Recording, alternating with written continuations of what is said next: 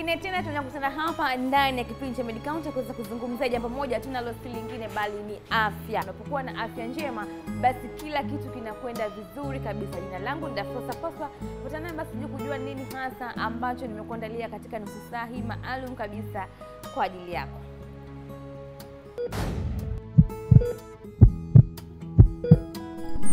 Medicounter, afya bora, ngao imara. Leo hii tutazungumzia tatizo la miguu kupinda. Tatizo hili lipo katika aina mbili, lakini habari njema ni kwamba tatizo hili linatibika. Ninaye hapa daktari bingwa wa magonjwa ya mifupa Dr. Zainab kutoka hospitali ya CCBRT iliyoko Msasani, Dar es Salaam, anatufahamisha mengi yanayohusiana na swala zima la miguu kupinda, lakini pia hata kama matibabu basi yanafanyika vipi. Fuatana naye basi uweze kujifunza mengi juu ya mada yetu hii ya siku ya leo ya tatizo la miguu kupinda.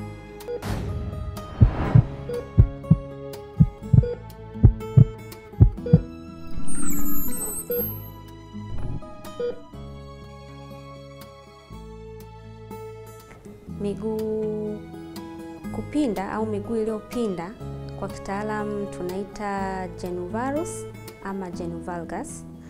Kwa maana ya genu-valgus ni miguu ambayo inakuwa imepinda kwa nje ama kwa, kwa jina jingine tunaita legs.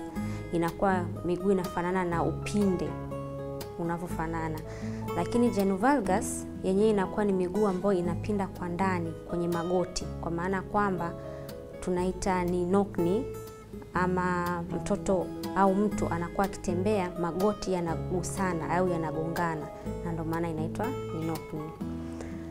Um, watoto wanapokuwa wanazaliwa wadogo, hata wanapokuwa kutumboni, tumboni, miguu yao huwa kidogo imepinda, especially kwa hii ya genu-varus ambayo tunaita ni bow legs au miguu kama upinde, na wengi wanavyoanza kutembea unakuta bado kuna ile hali ya kupinda mpaka pale mifupa inavyozidi kukomaa na kupata nguvu, miguu inaanza kunyooka.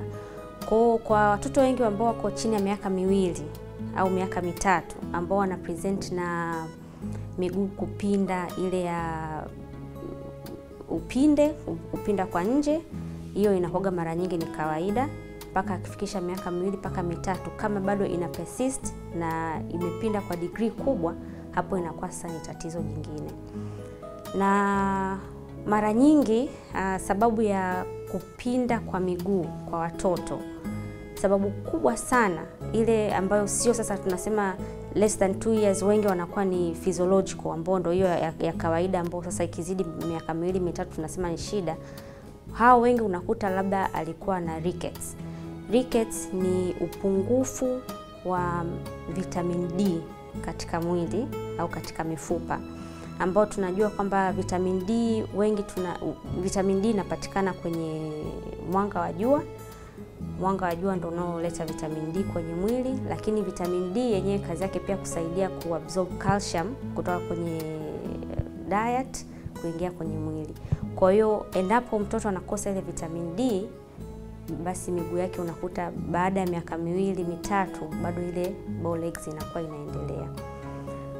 Mara nyingi uh, sababu nyingine ambayo inaweza ikasababisha miguu kupinda hiyo bow legs, kuna ugonjwa unaitwa Blount's disease. Huu Blount's disease unakuta mtoto anakuwa katika zile growth plates zake, sehemu ambako mfupa unakuwa una, unakuwa kunakuwa kuna kuna shida kidogo. Kwa unakuta upande mmoja wa growth plate unakuwa haukui vizuri ukilinganisha na upande ule mwingine, kwa sababu growth kwenye mfupa uh, growth plate lazima i, i, mfupa ukue sawa sawa pande zote mbili. Kwa ukuta upande mmoja kidogo unakuwa na changamoto, basi mtoto unakuta anapata hayo matege. Na matibabu kama nilivyosema awali, kwa wale watoto ambao wanakuja tunaona hii miguu imepinda, lakini sio sana, ni kawaida, bado ni physiological. Tunawa observe, tunamwambia kama mtoto yuko chini ya mwaka mmoja au chini ya miaka miwili, tunaweza tukamwambia mama tu aendelee na diet ya, kwa maana ya kwamba kumpa mtoto vyakula vyenye calcium ya kutosha kama maziwa, samaki, mayai. Alafu baada ya miaka miwili tunaendelea kumwona mtoto Uh, tutapiga picha. Matibabu yake lazima kwanza upige picha uone either ni Blount's disease au ni rickets, lakini kwa sisi hapa watoto wengi ambao tunaona ni wanaokuja na rickets. hiyo tukipata mtoto ambaye ana matege kwa sababu ya rickets, tunamwanzishia vitamin D high dose. Kama nilivyosema, rickets ni upungufu wa vitamin D. Kwa hiyo tunamwanzishia vitamin D high dose, anatumia kwa muda wa miezi mitatu mfululizo, kila siku kidonge kimoja 5000 international unit. Baada hapo atapumzika miezi mitatu, kwa sababu vitamin D kwa mwili wa binadamu unavyofanya ni kwamba unavyochukua ile vitamin D ni fat soluble, kwa hiyo inaenda inahifadhiwa kwenye kwenye fat tissue. Kwa ile miezi mitatu ambao anapumzika bila dawa, bado ile vitamin D inakuwa inafanya kazi taratibu taratibu kutoka kwenye fat tissue. Baada ya miezi mitatu, mtoto anapokuwa amerudi, tunampiga tena picha nyingine ambayo jumla inakuwa ni miezi sita tokea alivyoanza kutumia dawa. Tunapoona kwamba maendeleo ni mazuri, tunamwongezea tena dawa raundi ya pili ambayo akitumia na hiyo kila baada ya miezi sita tunamwona mtoto na watoto asilimia nyingi ambao unakuta wana rickets, akitumia dawa labda raundi mbili au tatu, unakuta ile rickets ina resolve kabisa na miguu inanyoka kabisa bila shida yoyote. Kwa wale watoto ambao unakuta sasa wamefika labda miaka minne mitano na ana Blount's disease, sasa ile Blount's ambayo sasa sio kwa sababu ya vitamin D, vitamin D deficiency wale uh, mara nyingi kwa hapa sisi BRT tunafanya operation ndogo ya kuweka vyuma kwenye uh, tibia au fima kwenye mfupa mkubwa wa kwenye paja au mfupa mkubwa wa kwenye mguu ili kuzuia, kama nilivyosema mwanzoni, shida inakuwa kwenye ile growth plates. Kwa kama growth plate inakuwa upande mmoja na upande mwingine haikui vizuri, basi unaenda kuizuia ile upande ambao unakuwa haraka ili uweze kukutana na ule upande ambao unakuwa taratibu. Kwa zile hemi, kwa kitaalamu hiyo operation tunaita hemiepiphysiodesis na tunaifanya. Baada ya hapo, mtoto atakaa na vile vyuma mpaka pale miguu itakaponyooka. Baada ya miguu kunyooka, tunakuja tunavitoa vile vyuma, kwa sababu akiendelea kukaa navyo, ina maana mguu utapinda kwenye the other direction. Uh, kwa watoto ambao unakuta sasa ameshakuwa mkubwa, labda miaka kumi na kitu na growth plates zake tayari zimeshafunga kwa huyu mtoto ambaye anakuja au mtu mzima ambaye anakuwa growth plates zimeshafunga, lakini ana ana hizi genu-varus au genuvalgus. yeye sasa tunabidi tufanye operation inaitwa corrective osteotomy. Hii corrective osteotomy ni operation ambayo una, una unarekebisha mfupa kwa kukata kipande kidogo cha mfupa na kujaribu kunyoosha ile miguu, kisha unafunga POP, anakaa nayo wiki sita. Baada ya hapo mfupa unakuwa tayari umeshaanza kuunga tukitoa POP na baada ya physiotherapy mbili tatu, unakuta mtu anakuwa anatembea vizuri bila shida na miguu inakuwa imeshanyoka. Lakini angalizo ni kwamba mara nyingi hatupendi kwenda kwenye aggressive methods ambazo ni hizo uh, operation. Kwanza tunapenda kuanza na conservatives za diet pamoja na chakula lakini pia operation ya hemiepiphysiodesis ni nzuri zaidi kwa watoto ambao especially growth plates hazijafunga. Lakini in case kwamba kweli mtu matege yake ni makubwa na yanasababisha labda shida kwenye kutembea au changamoto zingine katika maisha, hapo tutaenda kufanya corrective osteotomy. Lakini pia degree variation, binadamu wote hatufanani. Kwa kwenye hii miguu kupinda, kuna watu wanatembea mpaka kesho kesho kutwa miguu yao bado imepinda kwa kiasi fulani. Kwa kuna degree ambayo kweli unaona hii sasa inahitaji intervention, lakini kuna zile normal variation. Ukija kulinganisha kumwacha mtu kuwa na matege ya namna hiyo madogo au kwenda kufanya operation kubwa kama za corrective osteotomy, unalinganisha benefit na side effects, unaona saa nyingine hizi normal variations za kibinadamu mtu anaweza akaishi maisha yake vizuri tu bila shida yoyote. Kwa mzazi um, watoto ambao wameshaanza kutembea, mimi tunawashauri mara nyingi kwa mtoto ambaye kishafika miaka miwili anatembea na mzazi akawa na wasiwasi na ile miguu kwamba mwanangu inawezekana ya matege si ya kawaida, ni vizuri akamleta CCBRT au akampeleka hospitali yote ya karibu wakaangalia ile miguu, na kuna namna sisi wenyewe wataalamu ya jinsi ya kupima yale matege kama kweli yamezidi kiwango au ni matege ya kawaida. Kwa mtoto ambaye kishafika miaka miwili mitatu, bado miguu mzazi ana wasiwasi nayo, ni bora amlete katika hospitali. Uh, x-ray itapigwa engo na tutapima zile engo, lakini pia tutamobserve mtoto anavyotembea na tunaweza tuka appreciate kwamba hii deformity ni deformity ambayo imezidi kiwango au ni deformity ambayo bado ni kawaida na mtoto ana nafasi ya kunyoosha mwenyewe miguu anavyozidi kukua. Uh, kweli inawezekana pia kuna kuna ka chembe chembe cha kurithi, lakini pia hiyo sio sababu kwamba mtoto asipate matibabu. So long kwamba ni matege yaliyopitiliza na matibabu yapo, basi ni vizuri mtoto akapatiwa matibabu hata kama ni kwenye familia kuna matege. Lakini kama ni matege ya kawaida ambayo sio mabaya sana, hiyo inawezekana pia wakamwacha, lakini so long kwamba matibabu yapo ya yale matege yaliyopitiliza, ni vizuri mzazi akamleta mtoto hospitali, sisi wataalamu tukamwona, tukamshauri.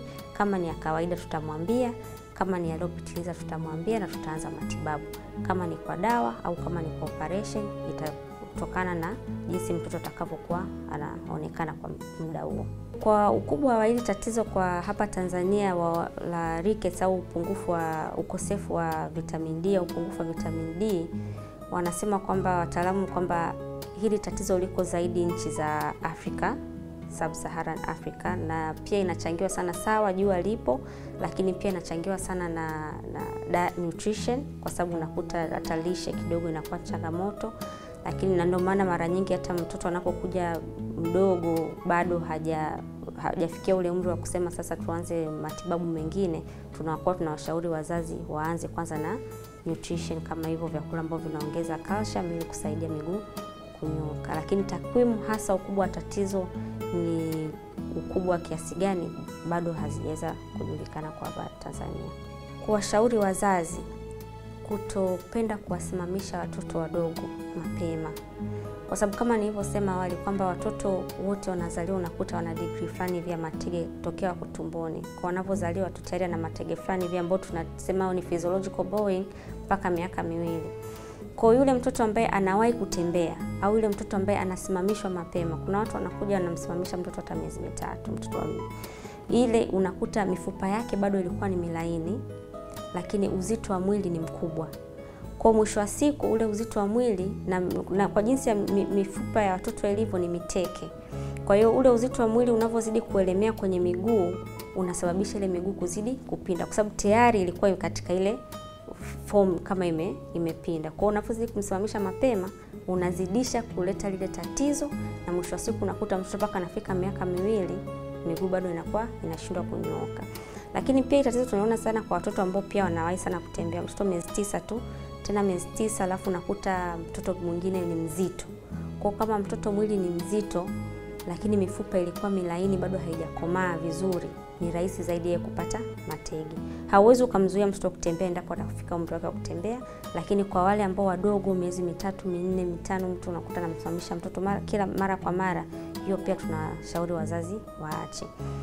Lakini pia kwa sehemu za mbali na mahospitali, hospitali kubwa, mimi ningeweza kuwashauri kwamba kwanza diet wa mtoto anapokuja present na miguu ambayo imepinda, kuangalia diet yake ikoje. Je, anapata virutubisho vyote, na sio tu kwa ajili ya kujenga mifupa, lakini in general tu, kwa sababu mtoto tunataka awe na afya nzuri. Diet yake ikoje? Lakini pia je, anapata diet yenye calcium ya kutosha na endapo kweli unaona kwamba hili tatizo linazidi, basi ni vizuri ukampa rufaa katika hospitali za rufaa au ukampa rufaa akaja moja kwa moja CCBRT. Sisi tutampokea na tutampatia matibabu, na uzuri ni kwamba hapa CBRT kwa watoto wote ambao wako chini ya miaka mitano, huduma zote ni bure. Huduma zote hizi za matege ni bure, hata operation pia tunafanya bure, isipokuwa kwa watoto ambao wanakuwa wameshavuka miaka mitano, hizi huduma sasa wanabidi wanakuwa wanalipia.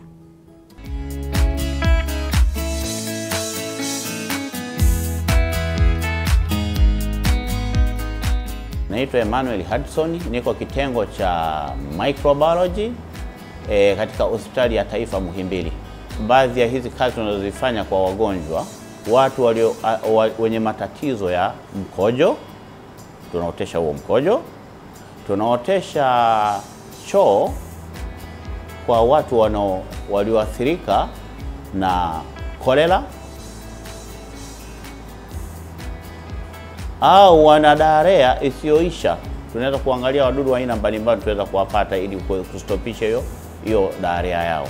Kwa mfano, tunaweza kupata shigela au Salmonella, eh, Campylobacter jejuni, Campylobacter coli na wengineo ambao tunaweza kuwapata kwenye haja kubwa.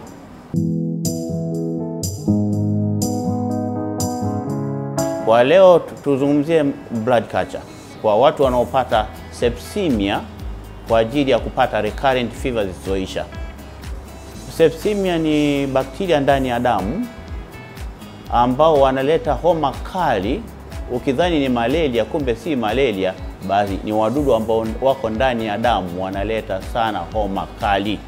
Chanzo chao bakteria wanaweza kuingia kwenye mpasuko wa aina yoyote, kama hizo na kidonda au umepata infections nyingine ndani ya mwili. Wadudu wale wanajitokeza, wanaanza kuzunguka mwilini mwako na kuanza kushambulia chembechembe chembe nyekundu za damu.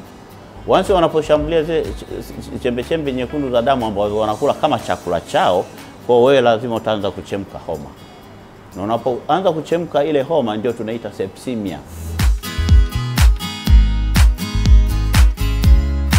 Hawa sosia hawa wanaweza kupatikana kwenye udongo, mavumbi eh? au magari inapotembea unakopulizia ile vumbi kubwa lile, unaniheli ile, unapata vile vile infections. Usipovaa viatu, usipowea viatu, viatu cover, vile vile kuna mipasuko mbalimbali ndani ya mwili wako, wanapenetrate, wanaingia pale.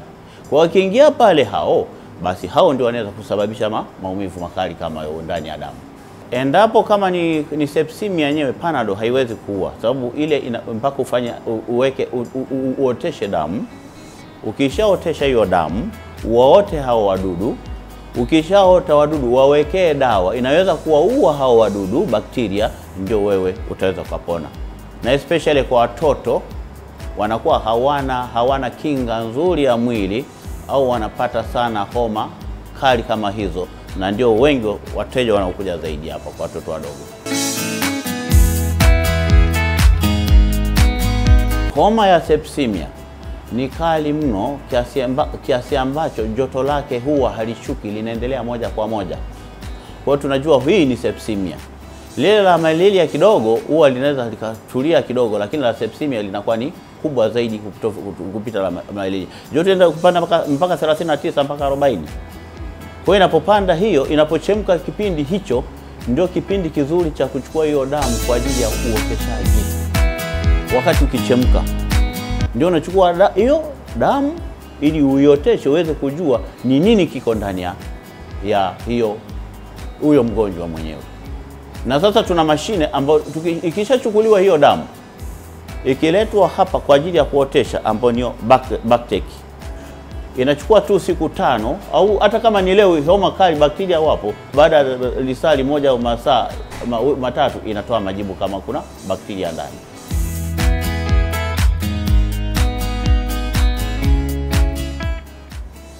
Ikishaletwa damu kama hii kwetu, imeshatolewa ina, ina broth ndani. Huku chini naona naona hivi vitu viko huku chini, hii inaitwa lenses. Kazi ya hii lenses iliyoko huku ndani inapasua chembechembe chembe nyekundu za damu. Ikishapasua chembe chembe nyekundu za damu, wadudu wanatoka, wanaanza kula chakula kwenye brothi ndani, wanazaliana kwa wingi mno. Ni rahisi sasa hata unani hata antibiotic ulikuwa umepewa za aina mbalimbali hospitali iliyotoka, zinaharibu zile antibiotic zote ulizokula. Ikiziharibu zile antibiotics zilizokula, bado wanastamili kuendelea kuzaliana. Kwa hiyo inatoa jibu ya kwa kweli kuna mdudu humu ndani, tunaitoa tuna, tuna- tunaitoa hiyo damu yako na kwenda kuotesha. Sasa angalieni tunaviweka ndani ya mashine kwanza hiyo damu. Baada ya kuwa tumeipata damu kutoka kwa mgonjwa, kwao zoezi linaloenda kuelezea ni jinsi ya kupanda damu ili tuweze kugundua katika damu tulioipata kuna mdudu wa aina gani, kama mwenzangu alivyotoka kuelezea. Kwa kitu cha kwanza tunachokifanya tunahakikisha ile damu imekuwa booked, yani imekuwa ordered katika system ya maabara. Tunahakikisha kwamba tuna fomu ya mgonjwa ambayo imeendana. Tumehakikisha kwamba barcode iliyoko kwenye chupa na kwenye fomu ni sawa, ili kuto kuchanganya majibu ya mgonjwa. Kitu cha kwanza tunafungua mashine yetu okay. Tukishafungua mashine tuna scan. Tukisha skani tuna, a, tunaingiza namba ya mgonjwa katika mashine yetu ambayo hii ni namba hamsini na tano then tuna enter. Tukishamaliza tunaiweka damu yetu katika mashine. Baada ya hapo tunafunga mlango huu.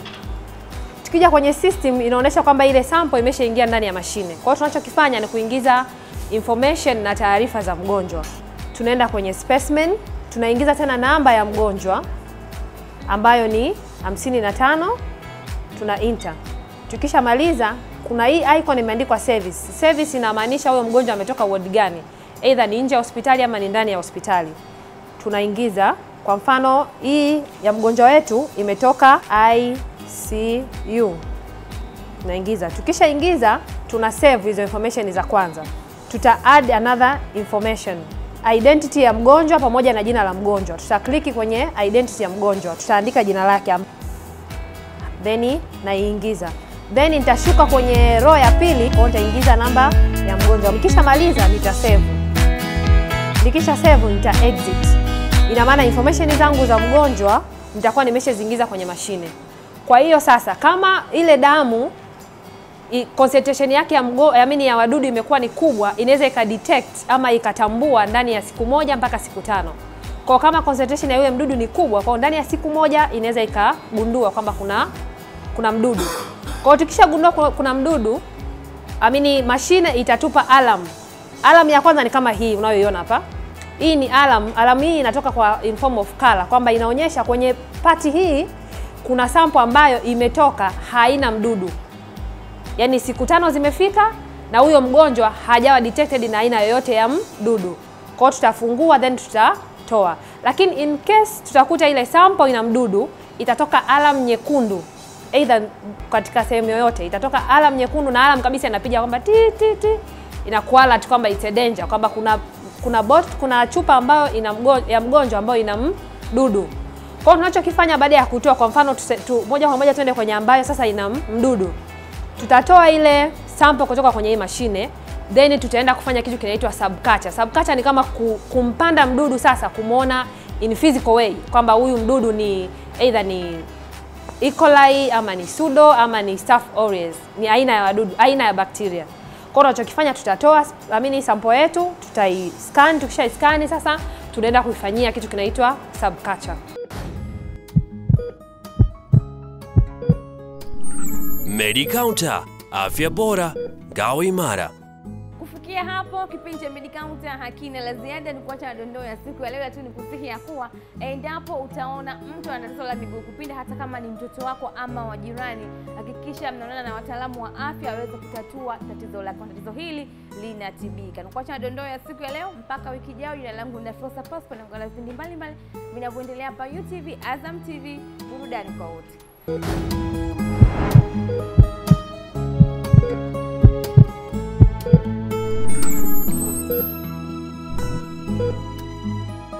Viazi vyekundu ambavyo hujulikana kama beetroots kwa Kiingereza ni viazi vya mimea aina ya beet, na viazi hivi huwa vya rangi nyekundu, vingine vikiwa vya rangi ya manjano au vyeupe.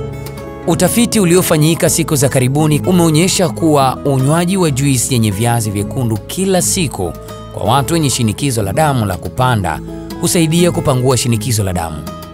Viazi vyekundu vina madini ya nitrate ambayo husaidia kutanua na kulainisha mishipa ya damu na hivyo hupunguza shinikizo la damu, lakini pia huimarisha kuta za ndani za mishipa ya damu. Unaweza kutumia viazi vyekundu kama juisi ya kusaga au kachanganya na matunda mengine kama maembe na kadhalika. Lakini pia unaweza kunywa glasi moja ya juisi ya viazi vyekundu kila siku peke yake au zaidi ya glasi moja kila siku kama umechanganya na matunda mengine. Viazi hivi vina madini ya potassium, chuma, vitamin A, B6 na C, asidi ya folic, protini pamoja na wanga. Pamoja na kusaidia kupunguza shinikizo la damu, faida nyingine za viazi vyekundu ni kusaidia kuongeza damu mwilini, kupunguza hatari ya magonjwa ya moyo na kuboresha mzunguko wa damu kwenye ubongo hasa kwa wazee. Aisee, anza kutumia beetroot leo kwa faida kemkem kiafya.